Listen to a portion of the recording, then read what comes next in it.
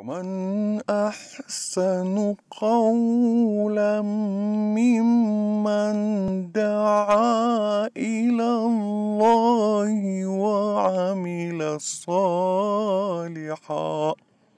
وعمل صالحا وقال إنني من المسلمين بسم الله الرحمن الرحيم. السلام عليكم ورحمة الله وبركاته. بسم الله والصلاة والسلام على رسول الله. اللهم صل وسلم على سيدنا محمد. صلاة تنجينا بها من جميع الأهوال والآفات وتقضي لنا بها جميع الحاجات وتطهرنا بها من جميع السيئات وترفعنا بها عندك أعلى الدرجات وتبلغنا بأقصى الغايات من الخيرات في الحياة وبعد الممات وبعد. آه قال الله تعالى في محكم تنزيله إن عدة الشهور عند الله إثنى عشر شهرا في كتاب الله يوم خلق السماوات والأرض منها أربعة حرم ذلك الدين القيم فلا تظلموا فيهن أنفسكم. آه tunaanza na aya katika kitabu kitukufu cha Mwenyezi Mungu Qur'an ambayo inatueleza idadi ya miezi inayopatikana katika mwaka.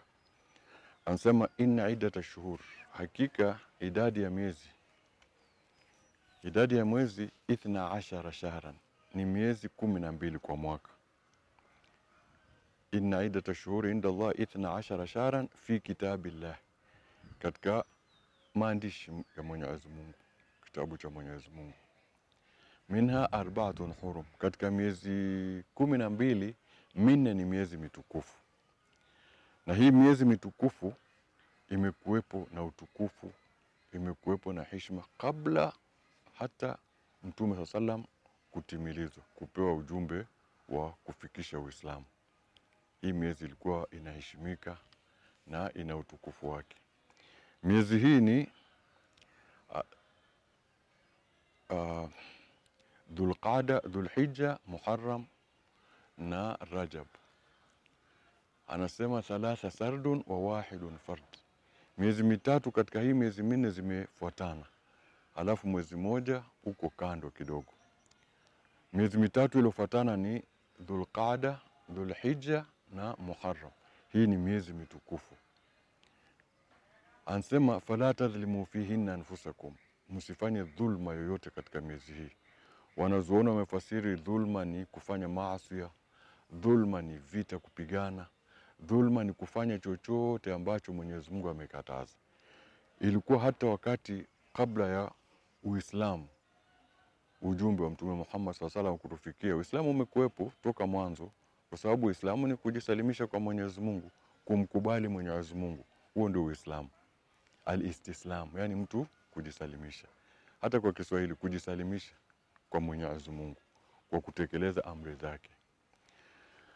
Kwa hivyo miezi hii imekuwa na heshima, imekuwa na utukufu. Watu hata ikiwa kuna vita vinapiganwa kati yao, ilikuwa ikisimamishwa mpaka hii miezi ipite, ndio watu wakiendelea na vita. Hii miezi mitatu imefuatana, thalatha sardun wa wahidun fard, tatu zimefuatana, Dhulqada, Dhulhijja na Muharram, na Rajab iko kando. Hii ni miezi minne ambayo ni mitukufu, na tukiendelea kutizama katika miezi hii mitukufu, kuna huu mwezi ambao ni Muharram.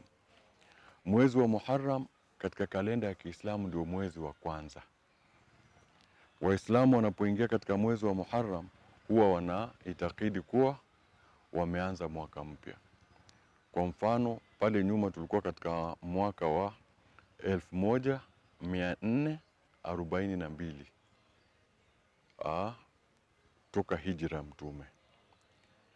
Leo tuko katika elfu moja mia nne arobaini na tatu. Kwa hivyo tumeingia katika mwaka mpya, na huu ndio mwezi wa kwanza, mwezi wa Muharram. Mwezi wa Muharram umetukuka kwanza kwa kuwa ni katika miezi mitukufu.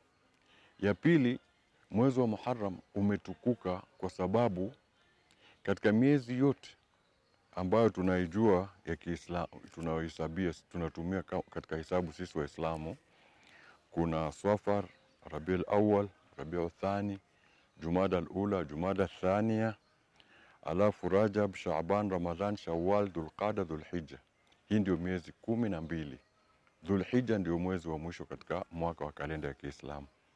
Hii miezi yote majina yalikuwa ni hivi hivi namna yalivyo, isipokuwa huu mwezi wa Muharram. Uislamu ulipoingia jina likabadilishwa. Zamani kabla ya Mtume Muhammad SAW salam kufikisha ujumbe wake, huu mwezi ulikuwa ukiitwa Safarul Awwal, As-Safarul Awwal. Alafu hii Safar tunaijua sasa ilikuwa As-Safaru Thani, kama vile Rabiul Awwal, Rabiul Thani. Kwa hivyo kulikuwa na Safar mbili, kukawa na Rabiu mbili na kukawa na Jumada mbili, lakini Uislamu ulipoingia safari ikabaki moja, ikawa ni Muharram. Neno Muharram ni kitu kilichotukuzwa, wanazuoni wakaita shahrullahi almuharram, mwezi wa Mwenyezi Mungu ambao ni mwezi mtukufu. Kwa hivyo huu mwezi unapoingia, huwa watu wanajitizama, mwaka jana nimeishi maisha gani, na leo nimeingia mwaka mpya, niko katika hali gani? Je, kuna kasoro katika maisha yangu ambayo yanahitaji kurekebishwa? Kuna mazuri ambayo niliyafanya mwaka jana na mwaka huu inabidi niongeze, ama kuna upungufu ambao unatakikana nirekebishe? Hizi ndio fikra lazima zije katika mtu ambaye anajua mwaka umeisha na mwaka mwingine unaanza. Kuna mwaka kama vile Disemba, kila mtu hujua Disemba imeingia, tunamaliza mwaka. Januari ikija, tunaanza mwaka mpya. Na katika Uislamu Dhulhijja, baada ya hija, kwa sababu hija hufanyika katika, katika mwanzo mwanzo wa hiyo Dhulhijja. Mwezi huo wa Dhulhijja unapokwisha, huwa kalenda ya Kiislamu imefika Disemba, mwisho wa mwaka. Kwa hivyo Muharram inaanza mwaka mpya. Sasa katika huu mwaka mpya ni wasia gani ambayo tunapeana? Wasia wa kwanza, je, mwaka uliopita tuliishi vipi? Ndio tukiambiwa, hasa Saidna Umar anasema hasibu anfusakum kabla an tuhasabu wazinu anfusakum kabla an tuzan wattaqu yauman turjauna fi ila Allah. Anasema hisabuni nafsi zenu, jitizameni mazuri mangapi mlifanya na mabaya mangapi mlifanya.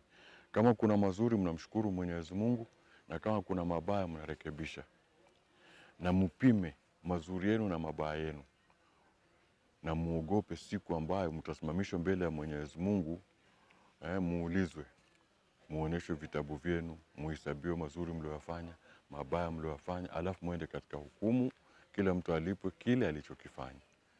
Kwa hivyo mwaka unapokwisha, haya ndio mambo yanafaa mtu ayatie katika fikra zake. Kama kuna makosa arekebishe, mwaka ujao asifanye. Kama kuna mazuri azidishe, ili mwaka wake uzidi kuwa na uzuri. Huo ndio mwezi ambao ndio mwezi wa Muharram.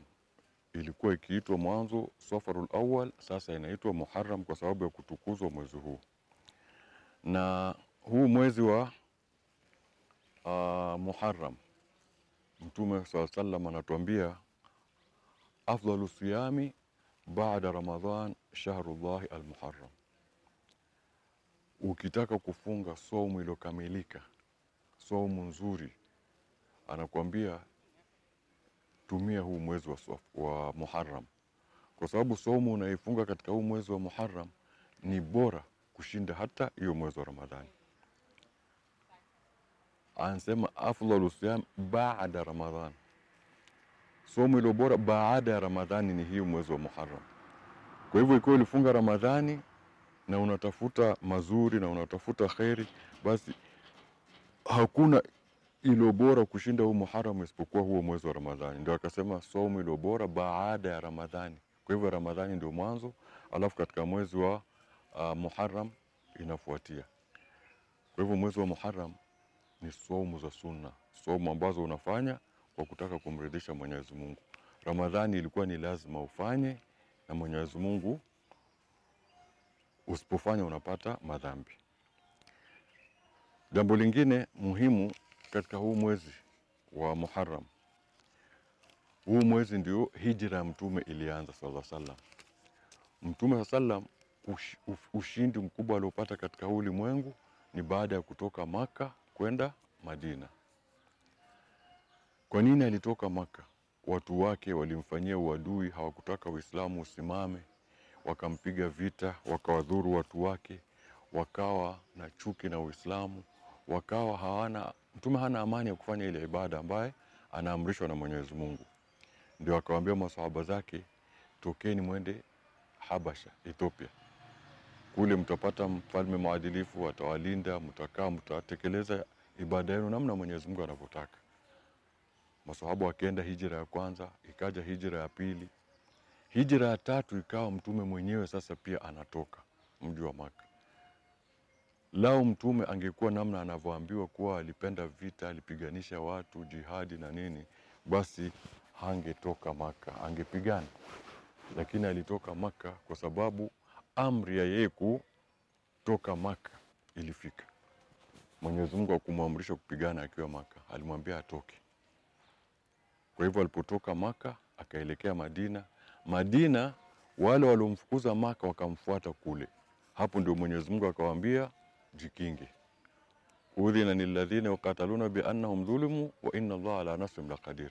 Wamepewa idhini wanaoteswa, wanaonyanyaswa wamepigwa, wamekimbizwa miji yao, wamenyang'anywa mali yao, wamehamia kwingine, wanafuatwa huko pia. Ndio hapo akaambia sasa mpigane na nyinyi kujikinga. Ndio wakapigana kwa kujilinda mpaka wakamshinda yule adui yao, ikabidi Mtume salam arudi Maka ili aitawale ile Maka. Wale waliompiga vita wakawa chini yake, wakawa hawana uwezo, hawana la kufanya kwa sababu walipokimbiwa wakafuata kule kule, wakapigwa wakashindwa, wakarudi mpaka mwisho, ikawa Mtume salam atatangaza Uislamu mji wa Maka. Kwa hivyo hijra ilianza huu mwezi wa uh, Muharram. Mtume salam aliwaambia maswahaba, yule anayeweza kutoka kwenda Yathrib, Madina wakati huo kitu Yathrib, aondoke ende na asidhuriwe na mtu yoyote. Kwa hivyo ikawa wanatoka kisirisiri, wanatoka kisirisiri wakienda mpaka mwisho mtume mwenyewe akatoka. Ndio pale Mwenyezi Mungu Subhanahu wa Ta'ala alipompa ruhusa atoke naye ende Madina. Ametoka usiku, akaja kwa Abubakar, Sayyidina Abubakar. Alipofika Abubakar akamuuliza kuna nini ya Rasulullah? Akamwambia suhba, nataka urafiki, yaani kuandamana na mimi kwa safari yangu. Tena Abubakar kwa furaha na kuona yeye anaondoka na mtume wawili wakatoka.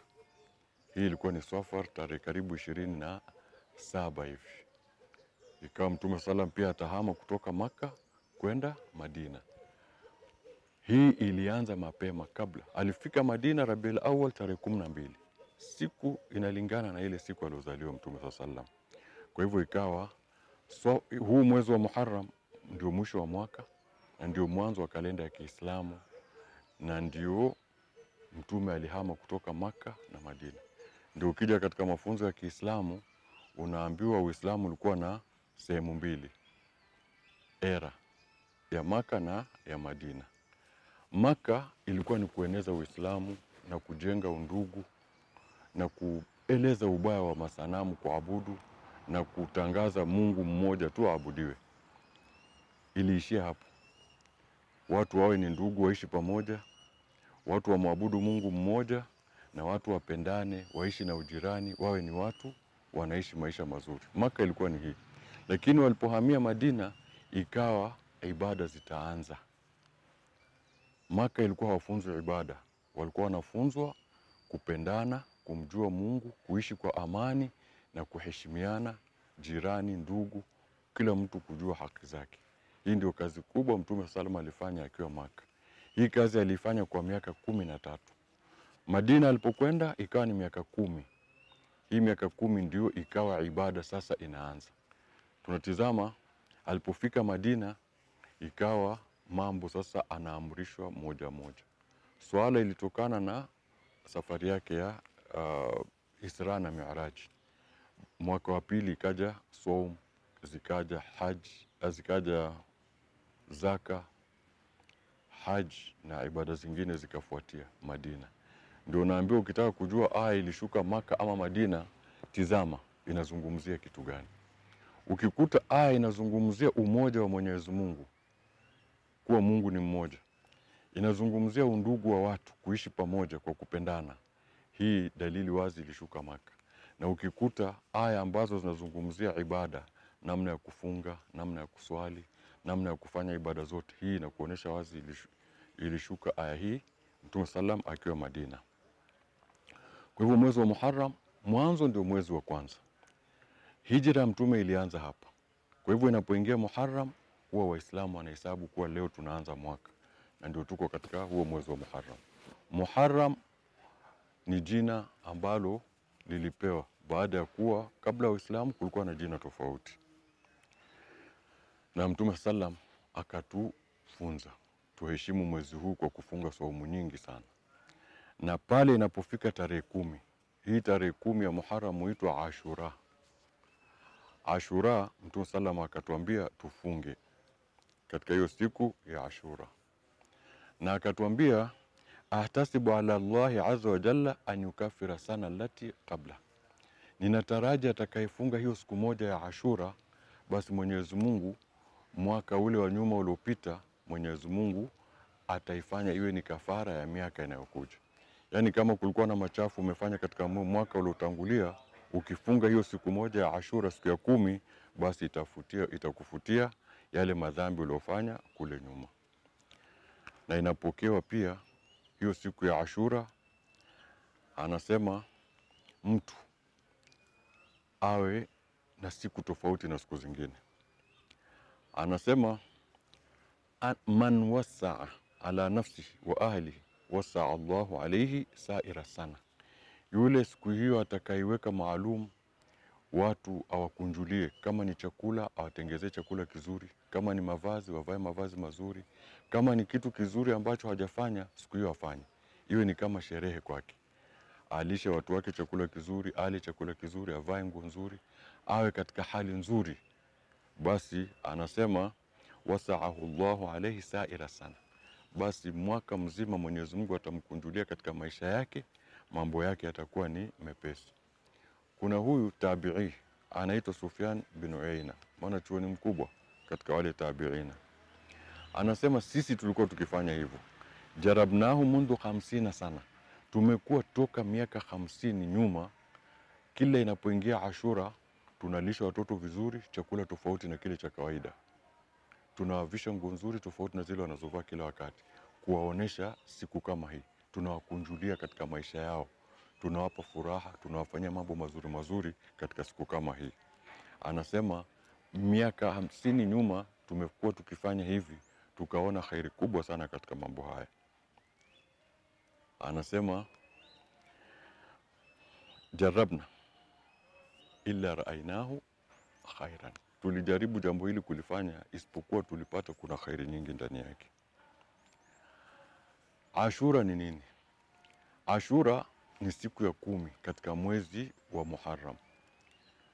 Mwezi wa Muharram, Ashura kumi, Mtume saa salam aliwauliza Mayahudi, nyinyi kwa nini mnafunga hii siku ya Ashura tarehe kumi ya Muharram?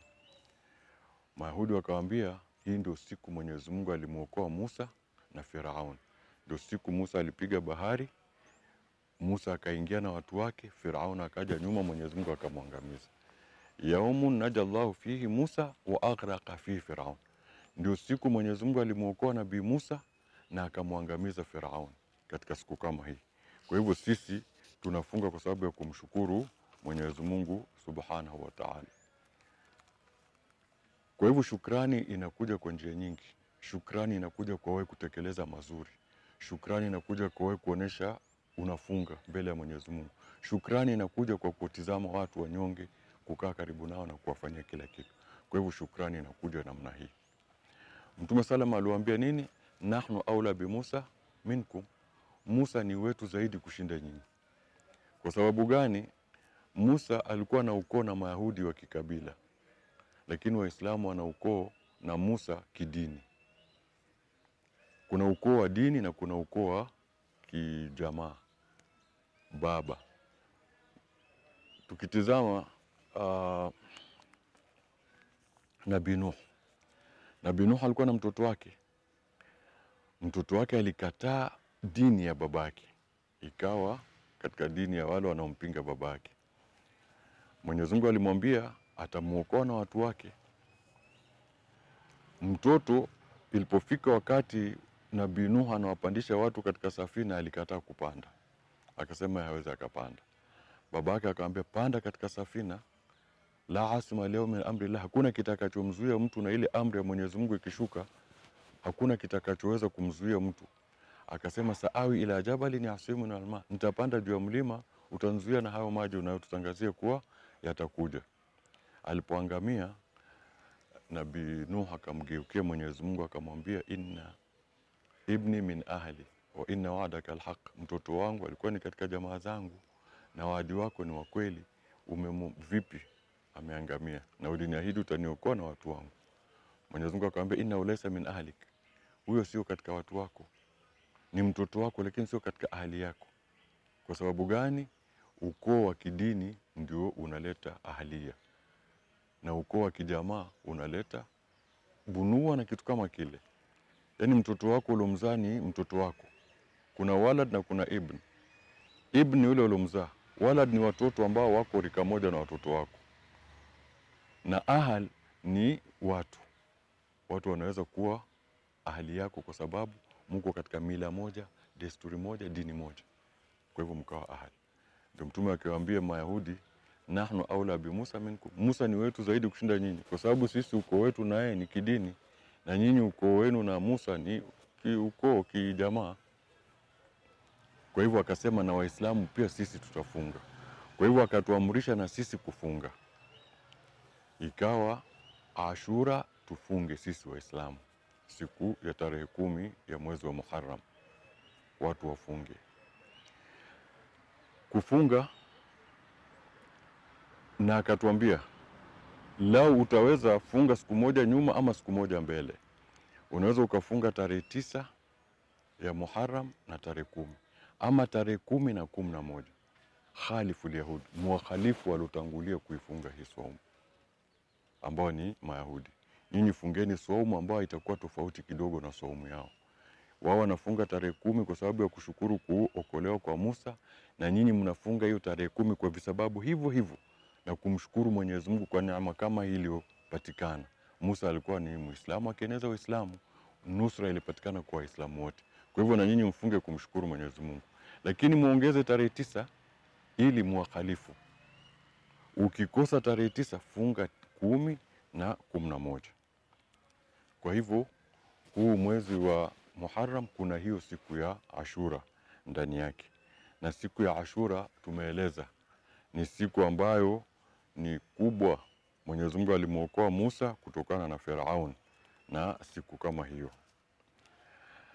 na Ibn Abbas anatuambia katika hadithi, anasema mara aitu nabii, sijawahi kumwona mtume yataharra siyam, anajihimiza sana kufunga. Ya siku yoyote ile. Anasema fadhalahu ala ghairi illa hadha alyawm, hakuna siku nimeona mtume amefunga siku yote. Ambaye ameifadhilisha ameitukuza ile somo aliokuwa akiifunga kushinda siku kama hii. Hii ndio siku alikuwa akifunga na anaitukuza somo yake sana, kuonesha hiyo ni siku mtu akifunga anapata kheri nyingi sana.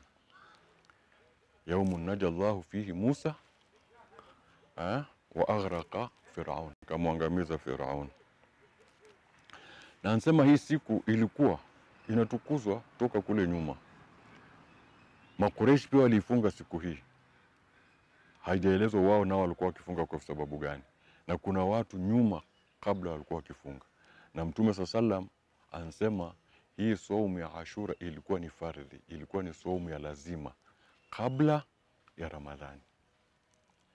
Ramadhani ilipofaradhiwa ikawa sasa hii Ashura ni sunna, Ramadhani ndio ikabaki kuwa ni fardhi. Kwa hivyo Ashura ndio mwezi huu tumo ndani yake, na ndio huo unaelekea.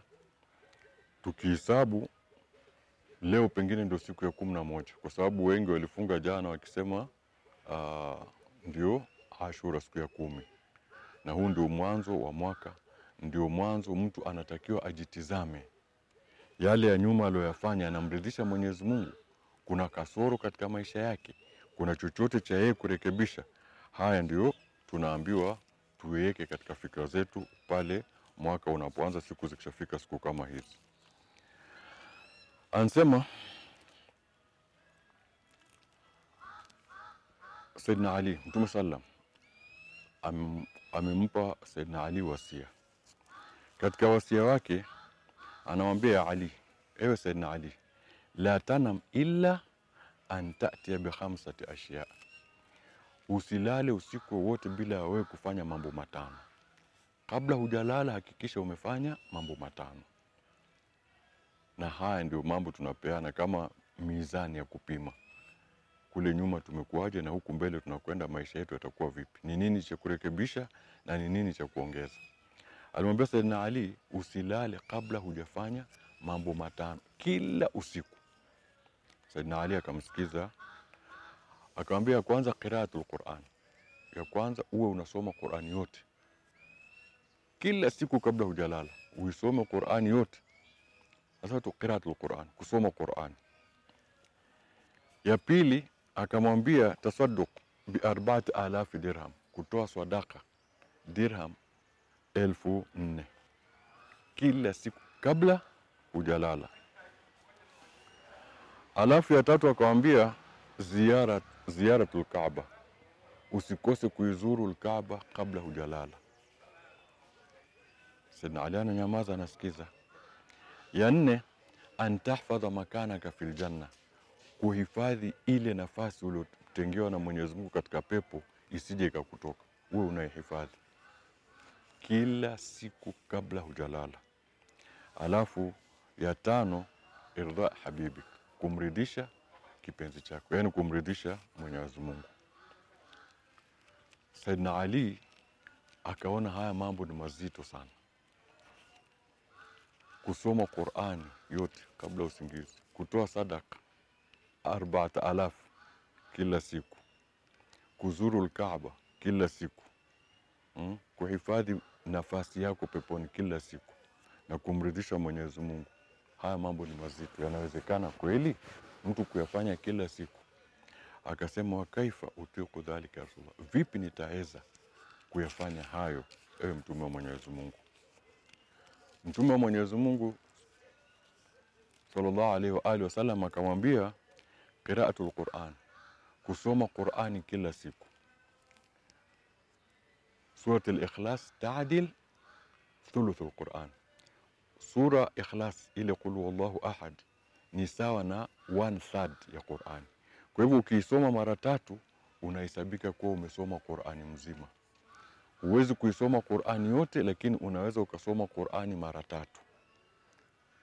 Kwa hivyo ndio Mtume salama akamwonyesha kwa urahisi wa kupata haya aliyomweleza, akisoma qul huwallahu mara tatu amesoma Qurani mzima, thawabu zake anapata kama aliosoma Qurani mzima.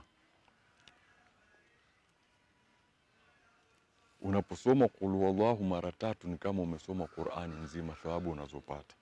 Mtume anawaambia Saidina Ali, ikiwa huiwezi Qurani yote, je, qul huwallahu mara tatu huwezi?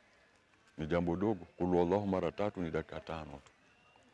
Ya pili, kutoa sadaka, anasema arbaat alaf dirham, dirham elfu nne kutoa sadaka kila siku kabla hujalala. Una nini? Saidina Ali hali yake namna ilivyokuwa, wakati mwingine akitembea mchana kutafuta kibarua afanye ili apate cha kuwalisha watoto wake. Vipi dirham elfu nne kila siku atoe sadaka? Mtume wa salam akawambia kusoma surat al-Fatiha mara tatu qiraatu lfatiha thalatha marat kula yaumin qabla ntanam. Ukiweza kusoma surati lfatiha alhamdu mara tatu kabla hujalala, basi unaandikiwa ni kama uliotoa sadaka hizo ambazo mtume amemhusia Saidna Ali. Wasia ni kwa Saidna Ali, lakini ibra ni kwetu sote, kwa sababu sote tunahitaji kheri ambazo Saidina Ali mtume alikuwa akimtakia. Kwa hivyo kulu wallahu tatu ni kama kusoma Qurani nzima. Surat al-Fatiha alhamdulillahi rabbil alamin mara tatu kabla ya kulala ni kama kutoa sadaka hizo ambazo Mtume salama amemweleza Saidina Ali. Alafu ziaratul Kaaba, vipi mtu atazuru Alkaaba kila siku kabla hajalala? Ndio Mtume akawaambia mtu aseme la ilaha illa Allah wahdahu la sharika lahu lahu lmulku walahu lhamdu yuhyi wa ala kulli shay'in qadir, mara kumi. Ukisema hivyo mara kumi unapata thawabu za yule mtu aliotoka nyumbani kwake akafunga safari akenda mpaka akaitizama Alkaaba akarudi nyumbani kwake. Ukisema maneno haya mara kumi, nini maana yake? La ilaha illa Allah, hapana mola apasaye kuabudiwa kwa haki isipokuwa Mwenyezi Mungu peke yake. Wahdahu, ni yeye peke yake anayeombwa, anayetegemewa kwa kila kitu. La sharika lahu, hana mshirika. Mshirika wengine huweka washirika waganga, wengine huweka washirika masanamu, wengine huweka vitu vingi. La sharika lahu, hana mshirika. Unapomwomba Mwenyezi Mungu ni Mungu tu unayemwomba, sio kitu kingine chochote, sio miti, sio mawe, sio sanamu, sio mtu, sio kitu chochote. La ilaha illa Allah wahdahu la sharika lahu, Mwenyezi Mungu hana mshirika, ni yeye peke yake. Lahul mulku, ufalme ni wake. Kila tunachokiona kimemilikiwa na Mwenyezi Mungu, kila kinachotendeka ni amri ya Mwenyezi Mungu. Ufalme katika ulimwengu tunaoona sisi, ulimwengu ni mkubwa na kuna mengi ambayo hata katika akili yetu hakuna, lakini katika yale tunayoyaona ufalme ni wa Mwenyezi Mungu, hakitendeki isipokuwa kwa amri yake, na hakuna chochote kinachopatikana isipokuwa yeye ndio mwenye kukimiliki. Ndio anasema lahul mulku, falme ni wake, wala ulhamdu, sifa nzuri zote ni za Mwenyezi Mungu. Mwenyezi Mungu ndio mwenye kuponya, hiyo ni sifa. Hatusemi Mwenyezi Mungu ndio mwenye kutia maradhi. Ah, Nabii Ibrahim alipokuwa akimwomba Mwenyezi Mungu alisema nini? wa idha mariltu fahuwa yashfini, nikipatwa na maradhi Mungu ndo ananiponya. Wale mashetani walipokuwa wakizungumza, wa anna la nadri asharrun urida biman fil ardhi am arada bihim rabbuhum rashada, hatutambui ni mabaya yanatakiwa yawapate walio katika ulimwengu ama mola wao anawatakia kheri. Hakusema mola mwenye kuwaletea mabaya, alisema am arada bihim rabbuhum rashada, wakasema wale majini Mwenyezi Mungu anawatakia kheri. Shari haijulikani inakotoka, lakini kheri inajulikana inakotoka. Kheri inatokana na Mwenyezi Mungu. Maradhi hayajulikana yanakotoka, lakini tiba ya kumponya mtu inatokana na Mwenyezi Mungu. Ndio himd. Himd ni sifa nzuri, kumsifu mtu kwa sifa nzuri nzuri, haumsifu kwa sifa mbaya yoyote. Mabaya we mwenyewe utatafuta yametoka wapi. Ukisema maradhi, we mwenyewe ujiulize, maradhi yametoka wapi? Tunasikia korona, korona watu wanaambukizana, yalitoka wapi? Hayo sisi ndio tunatakiwa tujue, lakini tiba, ukipona hiyo korona ni Mungu amekuponesha. Hiyo ndio sifa nzuri. Ndio tukaambiwa kila mara sifa nzuri zote zi, zinasibisha na Mwenyezi Mungu. Ndio hapa anasema wala ulhamdu, sifa njema zote tumnasibishie Mwenyezi Mungu. Mwenyezi Mungu ndio mwenye kufanya kila kitu, lakini adabu ya sisi wanadamu ni kumtukuza Mwenyezi Mungu kwa kumnasibisha na mazuri na kujaribu kuepuka kumnasibisha na yale mabaya ambayo yanatendeka. Yuhi wa yumiti, anahuisha na anafisha.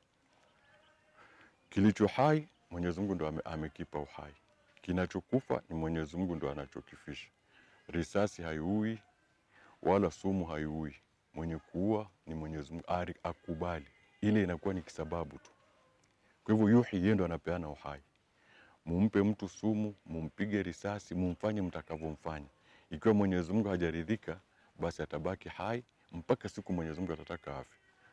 Kuna watu wamepigwa risasi zimekaa kichwani miaka hawafi.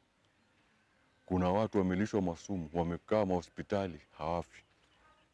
Ikifa ni siku hii Mwenyezi Mungu ametaka huyu mtu afi. Kwa hivyo yuhi, yeye ndio mwenye kuhisha, wayumiti, na yeye ndio mwenye kufisha. Vitu vingine, gari kumgonga mtu, wanyama kutafuna mtu, mtu kuanguka na vipi, hizi huwa ni visababu tu, lakini mwenye kutekeleza kikweli ni Mwenyezi Mungu Subhanahu wa Ta'ala, wa huwa ala kulli shay'in qadir, na Mwenyezi Mungu ni muwezo wa kila jambo. Haya maneno uyaseme mara kumi kila siku ukienda kulala, kabla hujalala. la ilaha illallah wahdahu la sharika lahu lahul mulku wa lahul hamdu wa ala kulli shay'in qadir, mara kumi kila ukienda kulala utaandikiwa thawabu za yule mtu aliyokwenda Maka akazuru ile Kaaba akarudi kitandani kwake kula, kitandani kwake kulala. Ya nne, hifdhul makan fil janna, wewe una sehemu Mungu amekuwekea katika pepo. Hiyo sehemu ukifanya mema Mungu atakupa, usipofanya mema huenda mwingine akachukua nafasi ile.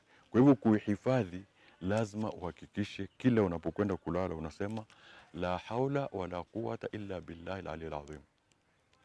Hapana hila ya kufanya mambo mazuri wala kuwa, wala nguvu ya kuepuka mabaya ila bila, isipokuwa Mwenyezi Mungu ndio anakuwezesha mambo haya yote.